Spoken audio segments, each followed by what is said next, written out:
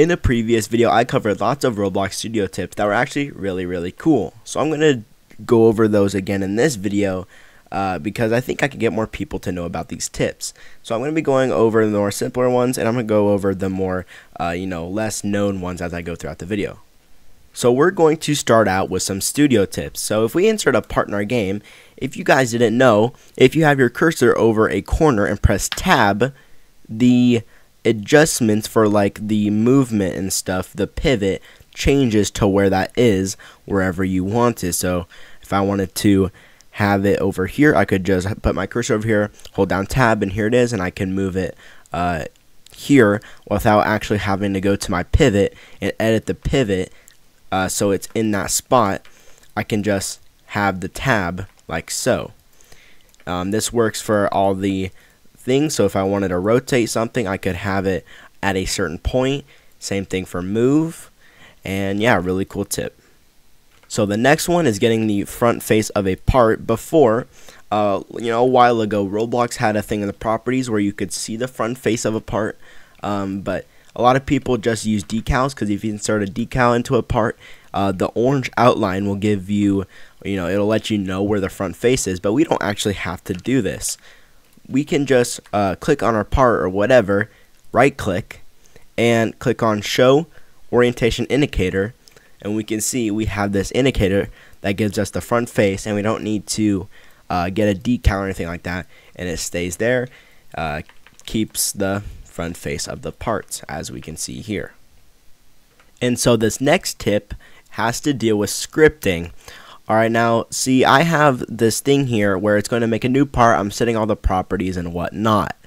Now, let's say I wanted to rename the part in the script let's say I wanted to call this part main part. Well, now I would have to copy this uh, and paste it for each one, which is kind of a pain. And, you know, there may be even more references to this down the line that you would want to fix. Alright, now this doesn't have to be this complicated, alright? So how you can fix this is if you put your cursor at the beginning of where you define the part. So I'm going to put at the beginning of part here. And I say hold down Control Shift R, you will see I'm selecting all the references of the object part and I can just say delete and say main part. Very, very simple. This is really useful in use cases like this where I just have random uh, code happening and I just want to change all references to the part. You can see I have quite a few ref references uh, in the code and if I wanted to change the whole thing, well, obviously I have to change it up here and all the properties but I'd also have to go into the code, and that could be quite confusing if you have complex code and looking for everything. So you can just uh, put your cursor at the beginning, Control Shift R, select all the references. As you can see here, it's all selected, and then you know you can call whatever main part, whatever you want, and it changes it. Now this is a little bit of a smaller one, but this can help you maneuver through your code. So let's say I'm just going to get rid of all this code that I have here and I am going to make a function and let's say I put parentheses and I want to speed up getting my cursor out of these parentheses. Alright, so let's say I'm typing, right? And I say local function, parentheses, and you know, it's kind of, uh, I'm not going to say it's a hassle, but it's a little annoying having to move your cursor out and then maybe even press enter and stuff like that. Well, we could fix this because how you can maneuver through code is by saying if we can say local function like a, we can hold down control and use our arrow keys to move through the code as we can see here. So going through this whole thing again and making a function, local function I say a parentheses, hold down control, and then the right arrow moves out and I can press enter.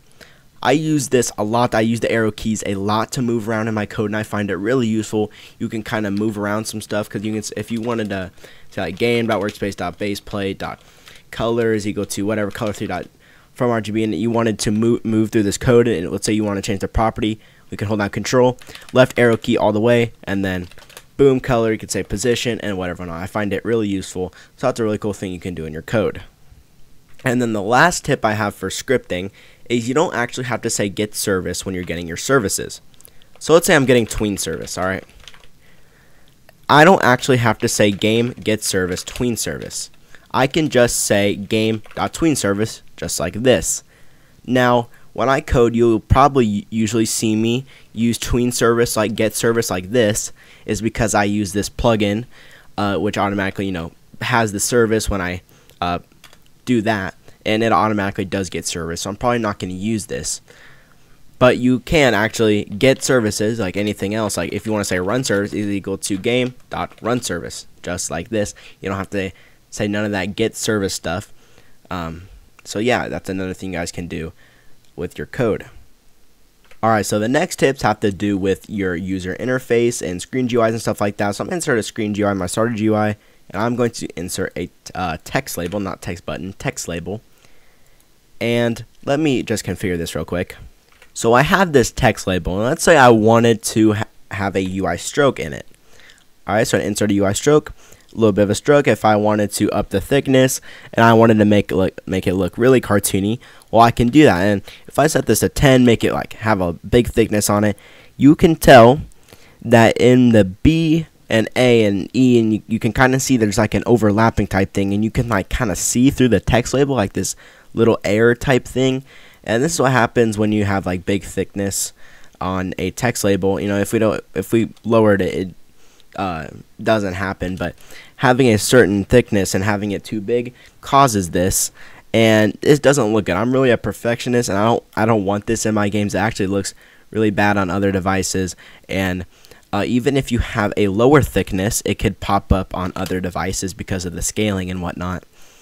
Uh, it can happen. See here on this device. So how we can fix this is by going to the properties of the UI stroke, and in line join mode, you can choose bevel or miter, whichever one actually fixes it. So I'm going to just choose bevel here, set this back to 10, and we will see we don't have that glitching in the text label where that overlapping where we can see through it. It's fixed now. If we go back to our devices, it's also fixed on every device as you can see here. Now the last tip I have for you guys is I think really, really cool. Roblox has custom emojis for the Roblox icon and the premium icon. Alright, so in here in the text label, I'm going to get the, or not, it's not the Roblox icon, it's the Robux icon. And if I put this emoji or a symbol in the text, you will see there is a Robux symbol. Alright, and there's even a premium one that we can add on to this. It's really, it's like so cool because you know you would usually have to use images for these. If you wanted uh, in my some of my other games, I would need to get images for all these, but you can just use these emojis. And by the way, I'll have these marked in the description. I'm not for sure if they'll pop up or not because they're like can, they can be invisible like on Twitter and stuff. But I'll have them marked, and you can actually put these in your text label, and you know they're emojis. They're really cool, and if you can easily, if you wanted to set a price for something, uh, you can easily say like 500 and the emoji, and it looks really, really nice. And if you guys were wondering, we can also insert UI stroke here, and it works perfectly fine. It applies it too. And yeah, there you guys go. Really cool thing you can do uh, with these emojis. And yeah, guys, this was today's video. If you guys did learn something from this video, or you guys enjoyed this video, please hit the like button and the subscribe button. I'll see you guys in the next video. Peace.